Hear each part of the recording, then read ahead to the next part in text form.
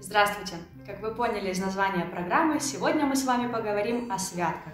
Святки – это славянский народный праздник, который приходится на период с 7 по 19 января, начиная с Рождества Христова и до Крещения Господня. В первый день праздника было принято навещать близких и родных, а также оказывать внимание бедным, обделенным и нищим. Многие семьи на Руси помогали обездоленным, подкармливая их. Посещали и детские дома, приюты, больницы. Даже цари, переодевшись в простолюдинов, навещали заключенных в тюрьмах и подавали милостыню на улице просящим. Существовала традиция дарить подарки, пришедшая из язычества. Она пересекалась с подношением даров богам.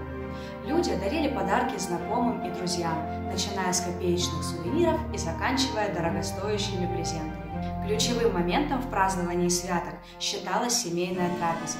Женщины вставали с позаранку, чтобы приготовить на стол и убраться в доме. Готовили различные кушания – кутю, сладкие блины, печенье с орехами, маковник, овсяный кисель. Стол накрывали на всех присутствующих, добавляя дополнительные приборы для умерших в прошедшем году. Завершением святок была подготовка к крещению. Рослые мужчины со всей деревни собирались вместе и отправлялись на водоемы. Они прорубали прорубь для предстоящего омовения. Обычно этим занимались в последние два дня святок. Неизменным атрибутом святок были гадания, когда собирались молодые девушки и узнавали свое будущее. Ритуалы были различные. В каждой деревеньке существовали свои правила гадания и собственные атрибуты, необходимые для проведения ритуала. Гадали в основном на женихов, желая узнать имя суженого, его возраст или внешность. Иногда гадали на дату замужества и число детей. Взрослые же ограничивались приметами, по которым пытались определить достаток семье в новом году. Обязательным элементом были и колядки, где резвилась молодежь. Парни и девушки наряжались в новую одежду, которую они предварительно мастерили перед праздником. Днем ходили по улицам, горланя песни колядки или исполняя церковные песнопения – заглядывали в соседние дома, где за исполненные песни получали угощения от гостеприимных хозяев. Во время святок на Руси ходило поверье, что от подарков каледующим напрямую зависит благополучие семьи в наступающем году.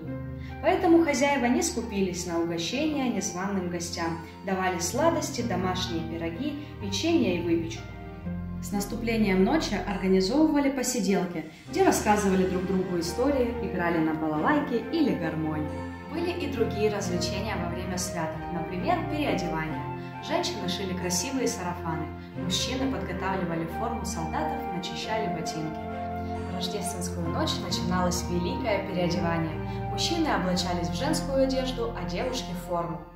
Действо было актуально для поездки в соседние деревни, где можно было одурачить простоватых парней или завлечь романтических особ. Зачастую девушкам в военной форме удавалось соблазнить доверчивых барышень из соседнего села и даже уговорить выйти замуж. Шутки заканчивались на следующий день, однако целый год молодежь потом вспоминала свои достижения и успехи в переодевании во время святок. Новый год и Рождество друг от друга недалеко. Скоро еще и крещение. Поздравляю всех с тремя праздниками. Счастья вам, здоровья, радости, удачи и веселья.